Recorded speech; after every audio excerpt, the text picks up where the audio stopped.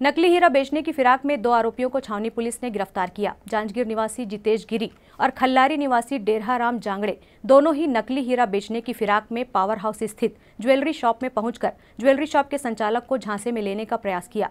मुखबिर की सूचना पर छावनी पुलिस ने मौके से गिरफ़्तार किया। आरोपियों के पास से हीरे जैसे दिखने वाले सिंथेटिक डायमंड के करीब सात पीस उनके पास रखे हुए थे। उसे बेचने के लिए ज्वेलरी शॉप संचालक से बात किया। संचालक ने दोनों आरोपियों से आईडी कार्ड की डिमांड की। आईडी देखने पर उन्हें संदेह हुआ कि दोनों का निवास भिलाई के बाहर है। तब उन्होंने छावनी पुलिस को सूचना दी। पुलिस ने आरोपियों को पकड़ने के लिए एक टीम बनाई। मुखबिर की सूचना पर दोनों को पकड़ा गया। आरोपियों से पूछताछ करने पर स्वीकार किया कि नकली हीरा पत्थर को बेचने आरोपी ज्वेलरी शॉप पहुँचे थे। हीरे जैसे दिखने वाला हीरा नहीं है, बल्कि पत्थर है, जिसे सामान्य रूप से देखने पर हीरा ही दिखता है।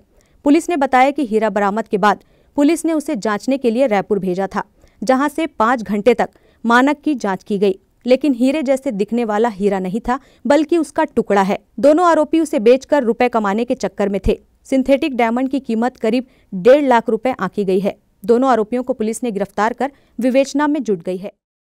परसों सत्रह तारीख को जवाहर सराफा मार्केट में, छावनी में शुभ लाभ ज्वेलर्स जो है, वहाँ के मालिक दुर्गेशपुरी उनकी दुकान में तीन चार बजे दोपहर के आसपास में दो लोग आए हुए थे बाहरी लोग थे और वो अपने पास में आईडी भी रखे हुए थे। ज्वेलर्स के मालिक से ये बोले कि हम कुछ हीरा रखे हुए हैं और बेचना चाहते हैं।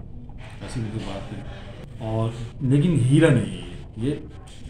ये माइनिंग वाला हीरा नहीं है इसको बनाया गया। उसके बाद फिर जब जाँच के दौरान ऐसा पाया गया कि ये हीरा बता के ऐसा बेचने की उसमें फ़िलहाल और पूछताछ जारी है और इनके खिलाफ में फिर पुलिस ने चार सौ बीस, पाँच सौ ग्यारह ठगी का प्रयास किया चौंतीस का अनुरोध किया गया है।